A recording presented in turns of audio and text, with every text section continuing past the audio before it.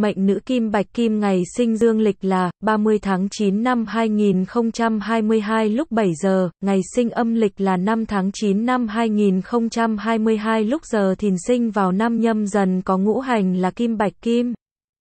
Tháng canh tuất có ngũ hành là xoa xuyến kim, ngày bính tuất có ngũ hành là ốc thượng thổ, giờ nhâm thìn có ngũ hành là trường lưu thủy, với năm tháng ngày giờ trên sẽ hình thành nên tỷ lệ ngũ hành.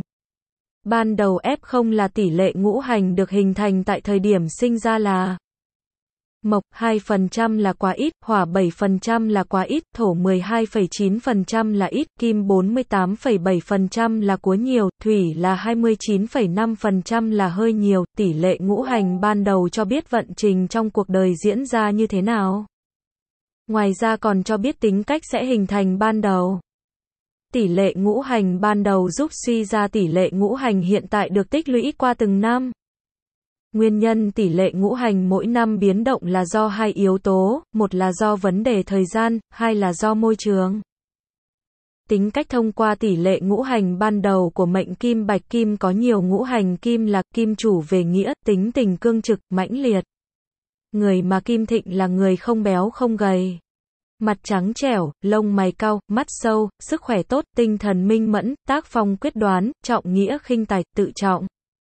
Người mà kim mạnh quá thì hữu dũng vô mưu, tham muốn. Bất nhân, người mà kim không đủ thì vóc người gầy nhỏ, tư cách vô tình, có khi nham hiểm, ham dâm, háo sát, biển lận. Tham lam, mệnh này nên bổ sung các ngũ hành nào quá ít giảm bớt các ngũ hành quá nhiều, đây là một bảng rất quan trọng nói về 10 ngũ hành ứng với 10 vấn đề thực tế của cuộc sống được gọi là 10 thân. Khi nắm rõ được bản này thì bạn mới có thể hiểu và thay đổi bản mệnh của chính mình bằng phương pháp phong thủy cải vận.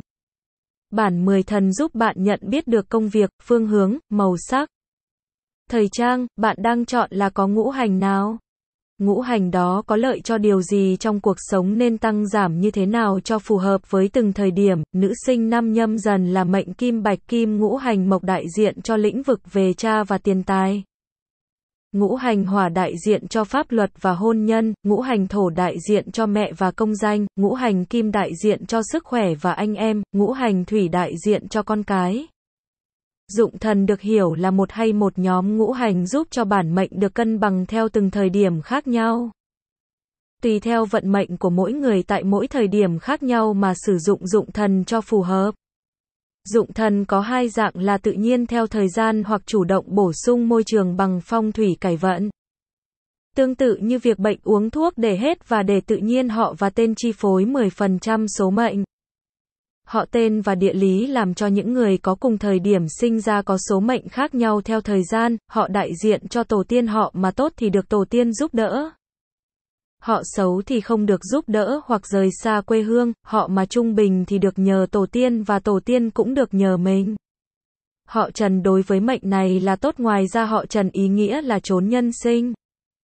Tên này mang ý nghĩa thực tại, ám chỉ những nhắc nhở của cha mẹ dành cho con phải biết sống ý nghĩa và vô thường. Ngũ hành thuộc mộc sinh ra hòa. Được thủy tương sinh nhưng kỵ với kim và khắc với thổ. Tên lót đại diện cho anh em bạn bè tên lót mà tốt thì được nhờ anh em bạn ngược lại thì bị anh em bạn bè tranh đoạt và lợi dụng. Tên thiên đối với mệnh này là tốt ngoài ra tên thiên ý nghĩa là trời, thể hiện sự rộng lớn, bao la. Người tên thiên thường đĩnh đạc, luôn mạnh mẽ, có cái nhìn bao quát tầm nhìn rộng lớn.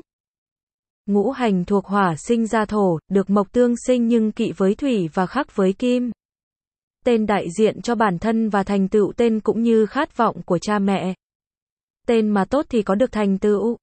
Tên xấu thì vất vả gian nan, nên chọn các tên phù hợp để có số mệnh tốt hơn. Tên ân đối với mệnh này là khá ngoài ra tên ân ý nghĩa là từ dùng để chỉ một trạng thái tình cảm đẹp đẽ của con người. Ân còn có nghĩa là sự chu đáo, tỉ mỉ hay còn thể hiện sự mang ơn sâu sắc tha thiết. Ngũ hành thuộc thổ sinh ra kim được hòa tương sinh nhưng kỵ với thủy và khắc với mộc tên tuệ đối với mệnh này là hơi xấu ngoài ra tên tuệ ý nghĩa là trí thông minh, tài trí. Tên tuệ dùng để nói đến người có trí tuệ, có năng lực. Tư duy, khôn lanh, mẫn tiệp. Cha mẹ mong con sẽ là đứa con tài giỏi, thông minh hơn người. Ngũ hành thuộc thủy sinh ra mộc. Được kim tương sinh nhưng kỵ với hỏa và khắc với thổ tên nhi đối với mệnh này là xấu nhiều ngoài ra tên nhi ý nghĩa là nhỏ nhắn, đáng yêu chỉ con nít, nhi đồng. Nhi, trong tiếng Hán Việt còn chỉ người con gái đẹp.